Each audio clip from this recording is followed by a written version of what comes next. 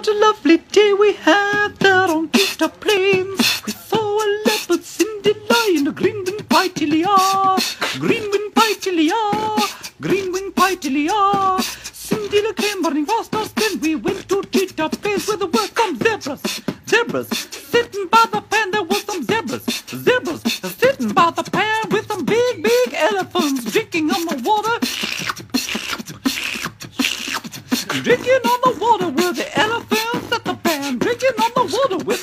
buffaloes at the. Everyone was drinking at the pan. It was nice. Very, very nice. Mm. Hello, everybody. Hello! This is our Friday wrap of the drive. It is indeed. Hello, Susan and Tracy and Stephen and Barbara and Josephine and Dee. Hello. Hello. This is Bryan. Hello. I'm James. Yes. Marvelous. And Oh. there's Chelsea. Photo bombs in the background. Hello, Chelsea. Hey, Chelsea. Chelsea's from Vermont. Mm. Up in Vermont. Very nice. Okay, so this is our Friday wrap. Uh, not rap. We've done the rap rap. Mm-hmm. Yes, it's the yes. Mm. w rap. Yes. Good week. Very good week. Very pleasant. How was week. yours? Mm. Yes, very pleasant. Of course, it started on a great high with the magnificent uh, TV shows. Mm. It was quite intense. It was quite stressful, so but intense. always a good time. Always, Always the a good best time. It was the best time, actually. It's so excited. Hello, James Richard. Hello, Linda. Hello, Josephine. Oh, hello, Standard Bank has just sent me a message saying I've got millions of brands. Oh, Excellent. That's. I'm, I'm richer than Methuselah. I don't know if he was rich or not. Sounds rich. Sounds rich. Right. Bryan, when will you post that vid of James and the Nyala? I will have to edit it a little bit more to make it that much more exciting. right. But it is quite uh, macabre. I think it's yet. very funny. Yeah, it is. It is macabrely funny. Maca- macabrely funny, yes. Macabrely. Yes. Now, we're hoping that Byron will make an appearance shortly and that we might interview him about his first few days here at Safari Live. We've all been very nice to him. Thank you very much. Thank you for being nice to him. He's a very sensitive fellow, even though he is from the south of Johannesburg, which, of course, is gangsterland. Very much if you happen to be from Gangsterland.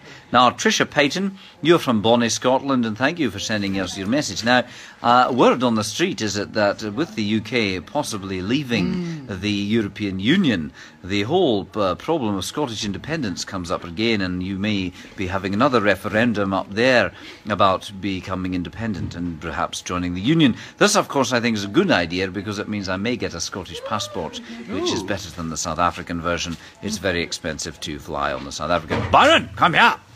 Yes, I'm going Ah, the man of the hour. Here is, is the man of the ah, Byron. Oh, Ah. Good at him. evening, everyone. What a Hello. magnificent human being. There he is. Ah, good grief. That is the pinnacle of humanity, right there.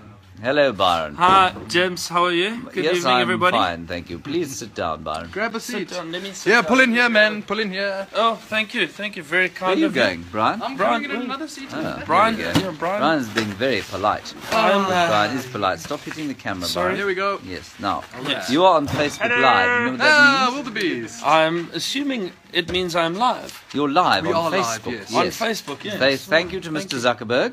Thank you, Mr. Zuckerberg. There we go. Thank you, Mr. Zuckerberg, for all your efforts. Thank you, Mr. Zuckerberg. Yes, but you did it for free, of course. yes. You haven't made any money out of this little Nothing. malarkey at all. really enjoy Byron, Sarah. There you go. You've got a fan, Byron. Look, Oh, one. thank Sarah. you. Hi, Sarah. Thank you very much. She was clearly blind and deaf. Um, So, James and I are very good friends, as you can tell. you can tell we are excellent friends here. We, we, the, the banter between us is very good, and Yes. it keeps us humble. Yes, it does. Mostly. Now, I must just Mostly. tell you a story which I've told around the camp. Now, Byron, of course, like I say, is from the south of Johannesburg, where Which is English, beautiful. English is a second language. what language do you speak there normally? Um, English. English. Well, English, it's a- but it's a version. The- the- It's a version. certain people So- in the area have a have a slight twang. Let's put it that way. twang. yes. Now, one of the uh, one of the, the twangs, the things that they say, or they shorten words, uh, much as they do in some parts of the United States. For example, um, were you to say "I am going to," you might say "amana." I'm gonna go. I'm gonna go- I'm gonna go to the shops. I'm gonna go to the shops. which means I am going to go to the shops. Now, when Byron was training, we were listening to a bird going. "Tick-a-tick, tick-a-tick, tick-a-tick, tick-a-tick, tick-a-tick, Stierling's Barred Wren Warbler. tick-a-tick, tick-a-tick." Very good. Yes. Very nice. Stierling's yes, Wren I've Warbler. learnt a lot Now, no one could see it, but then Byron spotted it. because And- I'm very alert in the bush. And you are. You have excellent eyes. And what did you say, Byron, when you saw it? There's he there. Right. Just say that again. There's he there. I was very excited Right. at this stage. So So, said- tried to get it out quickly. He said, "There's he there," hmm. which in the language of the south of Johannesburg means, "There he is over there." James has never let me forget that or live that down. Well, that's because you had to guide people who you had to tell. You you can't go to uh, a, a tourist, a high-paying international traveller from France. I have learned and when you lesson. hear a Stierling's Barred Wren Warbler say, "There's he there," I have I have learnt my lesson, and uh, James, uh, well, because of James, I've worked on my vocabulary, and uh, and I believe it's become a lot better.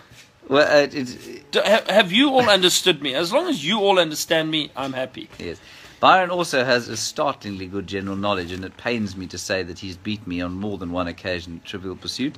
It's a it's a secret. It's a secret talent of mine. Well, I have to tell you, I've lost a couple of games, in my, um, many games in my time, but losing to Byron, there's he there, Serrao, at Trivial Pursuit, I have to tell you, was one of the most painful experiences of my life. I mean, look at him.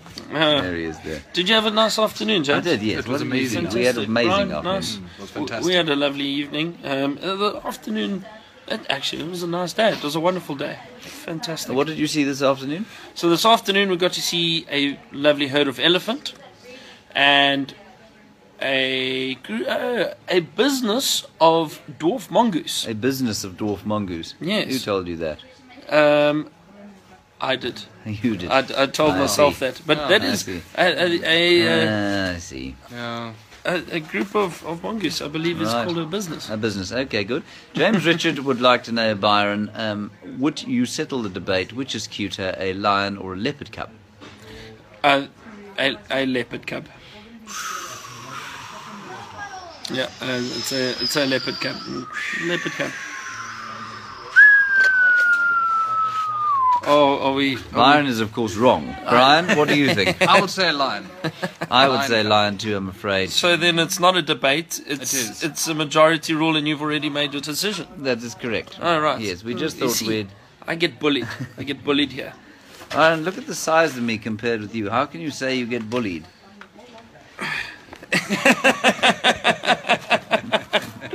Verbally bullied. Yes. And I'm um, very sensitive. very. You're from the south of Johannesburg, and ridiculous. Um, hang on a second. Now, many questions coming through here. Wonderful. We enjoy. Thank you so much, uh, Caroline. Caroline, very thank you kind, kind compliments to Byron. Thank you so much. Always unnecessary. Don't pay him too many compliments. I'm going to start blushing. Yes. Luckily, I got a bit of a tan out there this afternoon. Yes. So You are looking quite um. Little, Yes, little quite, tan. quite well tanned there. Yes, Very that- nice. That comes from hours of being in the bush. It also comes from your Portuguese heritage, of course. Probably that too. Yes. By the way, are we having chicken for dinner? We're not having chicken for dinner. Negative. I'm not sure what we're going to have for dinner. Um, one of you said that you loved seeing Sandi- how Sandile found us. Yes, Sherry. Sandile absolutely found us today. We didn't find him So, at all. everybody, I need to quickly give you an update. On our way back, we remember we heard all those lions calling and um, and that lioness answering the calls. As we got back to uh, uh, Buffelshoek Dam, there was a large male lion that had came and lay in that exact same spot where the lioness was. He was- And I think when he called, she must have decided she didn't want to hang around and she moved off away from there. And then on our way close to the camp, or back and close to the camp, we went along the Gowrie Road and we bumped into two lionesses who I assume are from the Nkun- Nkuhuna Nuba. Here we go. Nkuhuma. Nkuhuma Pride. Nkuhuma Pride. Well done, yes, Nkuhuma. Pride. Yes. And they were lying out in the open. So it, so we had three different lion sightings this evening. That's brilliant. so we will definitely try head there in the morning and uh, see if we have any luck. Patty, you want to know how far away it was from here that Sandile was released. Uh, Patty, he was released on the Sand River, like you say, and the Sand River is probably about seven kilometres from from where we are now, so it's not far at all. And he's he'd made a, he's made an enormous circle. I don't know if you've followed uh, Jerry Camacho's um, posts on Facebook, but he's done a huge uh, circle around. Oh, so I'm getting all sorts of messages from people there. He's done a huge circle around there. Ooh. Who are those And- messages from, Oh, I can't tell you. Sure. Oh, it's a private matter. and he seems to be making a smaller and smaller circle into the area that is his was his sort of home range with his mum, which I think is quite interesting. Hello from New Brunswick, Canada. Tim Sadler, what do you think, guys, think of zoos? We have one closed this fall in Ontario. Maybe you heard about the media report. No, I haven't. Byron, your take on zoos? Um, you know what? I th- I- I think zoos. You know, I've been to some zoos down in Australia, which I found were very well managed, and they try and keep they try to keep the habitat as natural as possible for the animals. And I think it, it does play quite an educational role for children who are not able to go to the the, the areas, the game reserves, and see the wildlife. And I, I do think it does play a, a slight role. But again, it depends on the management of the zoos. Um, and it is sometimes sad to see animals in, in small, confined spaces. But if it's well managed and they're able to live a happy life in an area that is not too confined and as much or as close to the natural habitat as possible, I think it's not a bad thing. What do you think, Bryan? Um, I do agree with Byron. I'm not a big fan of zoos, but as Byron said, if it's educational and there is some comfort, then I guess it's all right to a degree. For Feel me- my face crunches. What do you think, James? I think that they play a very important um, research role. I think when they're used for research, I think, especially in South Africa, you know, uh, what, we've got 53 million people in the country. I would say less than 10% of them can afford to come to a game reserve or will ever come to a game reserve. And zoos, therefore, I think play a really important role in introducing people to the wild. And yeah, I'm sure it is uncomfortable for some of the animals. I think zoos are much better than they were sort of 30 years ago. And, Yes, you know, the research programs that a lot of them sponsor, I think, are massively, massively important. Yes. So that's my take on that one, Tim. You're welcome to tell me I'm talking rubbish. I may well be. Um, what are our backgrounds? Melissa Cobb Langlois. I met a girl called Langlois once, twins actually. Oh. very nice. Well, Um, interesting story. Yes, not perhaps for this forum. Um, Melissa, we all have different backgrounds, and that's the great thing about getting into this. Byron never went to school at all, as you can tell. Um, see again, again, you see the abuse, the abuse I get. So Bryan, let's start with Bryan. James, give Bryan a chance to speak. Um, my background, I'm actually a trained 3D animator. he's a trained 3D animator and now a bush cameraman. Yes. And I don't know if you saw our little fireside chat after the um, TV show that we did the other day. But Bryan described how it is to become a wildlife cameraman. That's Louise going off outside. What are you going to do, Louise? I'm going to um, check the vehicle. Check the vehicle. Check the Ah, okay, vehicles. As one should every day. Good Yes. luck out there, Louise. Well done, there were Louise. lions Take a about. torch. Be Thank you, careful. Louise. Um, so that's what Bryan did, and you, so and you can do anything to get into wildlife filmmaking. I mean, you can learn on the job, you can do it formally, you can do whatever you like. Byron, you, Um, so I went to a very prestigious school in Johannesburg known as King Edward VII School, and uh, right next door to James's school, which we used to beat on a regular basis in rugby. And nothing else. Um, and then Especially after school, English. I actually went and got my guiding qualification quite early on, just out of interest sake. After that, I went and studied for my sins. I tried to study a BCom degree. No. That's and, a Bachelor um, of Commerce, everybody. a Bachelor of Commerce. business degree. Did you business enjoy it? degree. I did not enjoy it, no, but it did help a little bit with certain things that I'm doing now. And then I went on to start at Londolozi Game Reserve, where I met my good friend James over here, and Yes. um, and I guided there for about five years, and now for two years I've been running my own business. And Kevin, just one second. Kevin Darby, I'm going to block you. You say, come on, Kez. No more of that. Yeah, And- no more of that. St. David's. Yes. So I've yeah. been running my own business for two years now and doing private guiding throughout Southern Africa and taking people all over, which has been fantastic. And now the privilege of guiding on Safari Live. Yes, indeed. It is a privilege uh, for you to work with us. Now, um, as it is us with you.